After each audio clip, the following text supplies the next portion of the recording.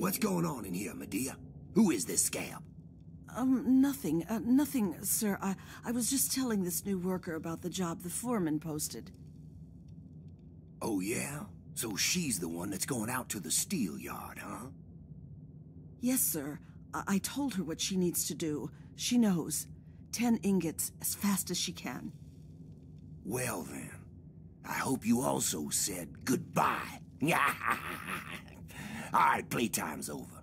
Get to work, grinders. What's going on in here, Midea? Who is this scab? Um, nothing. Uh, nothing, sir. I... Good. Just in time. Ashur has ordered everyone into the square. Rumor has it that he's going to open up the arena. That's perfect for us.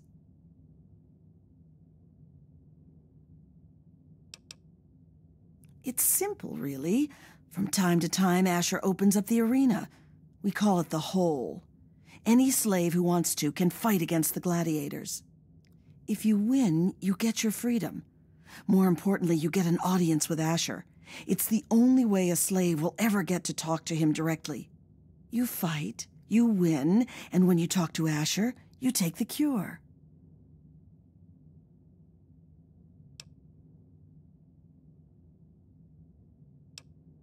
I wouldn't shed a tear, but no. Wernher has a distraction planned. We haven't been making these weapons for nothing, you know. But when you're meeting with Ashur, you'll be close enough to grab the cure. Get it and bring it to me. Now let's get out there and listen to Ashur's speech. There'll be hell to pay if the guards catch us in here.